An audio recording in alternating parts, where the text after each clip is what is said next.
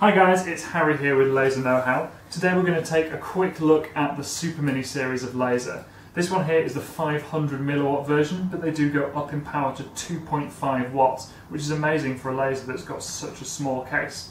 So let's take a quick look around the unit. We've got fan here, as well as mounting bracket and clamp. And if we move to the back of the unit, you can see that here on the left hand side, we've got DMX in and out. Then we move across, we've got the microphone for the sound active mode, and we've got the zoom.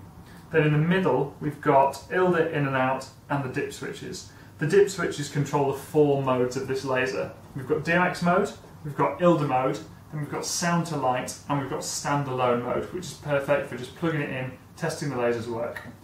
And if we move all the way across, you can see here we've got power on off, interlock and key switch, as well as power. And the power for this laser is just a standard kettle lead, standard power cable.